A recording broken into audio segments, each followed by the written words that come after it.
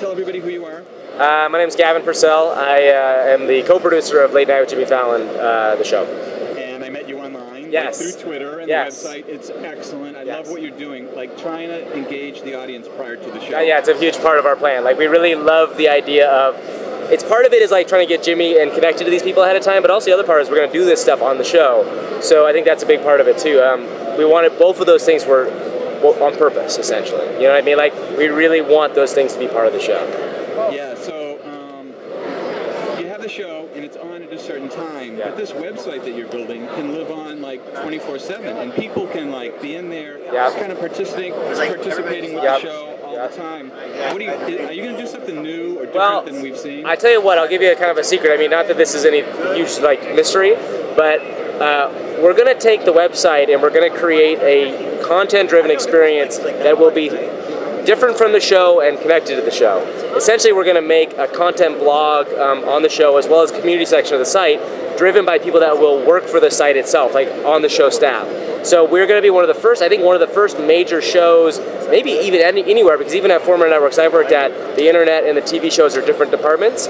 We will have bloggers on our show staff, um, and they'll be integrated into the show itself. Um, so I think it's going to be really interesting. The websites, and I think there are so many possibilities to do stuff on the web that may not work on TV, or things on TV that may not work on the web. But and there's some things that will work on both, and I think it'll give us a chance to explore all sorts of different kinds of content as well.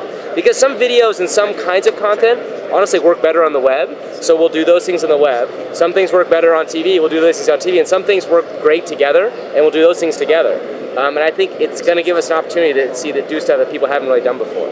So, so Jimmy's on Twitter, and he Yes. just recently got on Twitter. Yep. And um, he asked, he, he got a um, crock pot for Christmas, Yes. and asked for, you know, what do you guys do with a crock pot? He got like pages and pages Yeah. of recipes. Yeah. What did he think of that He loved it. He absolutely loved it. He went bonkers for it. In fact, he loves. I mean, it's funny to see people. What I always love about when you're on Twitter and famous people, the greatest thing is they all kind of get off on the idea of using it as like this hive mind, and it's an awesome thing when like you can say and have seven thousand people instantly respond to you. Like it. But I think more than that for Jimmy, the cool thing is like it's a direct connection to his fans in a way that like he's never felt before. And he said to me so many times in the last few like a couple weeks he's like totally addicted to it because it gives him a chance to connect in this really cool way. And just kind of what the webisodes are doing too is like let people get to know who he is um, rather than kind of through a guise of like what other people might think he is. It's like directly to him. And i think most people who have kind of had that interaction with him uh, whether from watching the web series or from Twitter, are really liking that person that they're finding, which is so awesome because that's the guy that I know. He's the most awesome guy in the world, and I, I it sounds like sucking up, but like he's a super cool guy, and I think it, it's one of those things, an opportunity for somebody like that to kind of get to know him even better. Um, people are um, on the web saying, "Can I be the announcer?" Yeah, You know, so people they're like, "I want to be the announcer. Can I be a guest? Can Yeah. I be on the show?" And like, I think that by Jimmy being on Twitter and actually really using it and listening to people, people, it's like the first time they've ever had a chance to talk to someone on TV. Yeah. It's like a pent up desire to Be part, part of something. Yeah, no, it's totally be part of something. yeah. Um, and I think that's something that you guys can harness Yep. in, in some way. I think um, totally. I mean, I think I think that we're big fans. Number one of what Colbert does and did with all of his stuff. But also, I'm also a big fan of what we used to do at my at G4 because I think G4 does a really interesting job of getting audiences interacting and things like that. They've got a very specific kind of young male audience, but they do really focus on interaction. Um, I think we're definitely going to find ways to get people to do stuff. I mean, a simple idea that uh, came up um, a long time ago through Jimmy, I think, was he wants to potentially, you know, do an internship where you, you take a kid and you follow him from uh, being in college. Like, but instead of him coming to do an internship on the show, he does an internship while in college and does it all through the webcam and interacts with the show that way, which is such a cool idea. Um, and that's kind of something that I think could come up with this kind of thing, right? Like, you don't have to find your way to New York to be on the show. We could do, you could be in, you know, Champaign.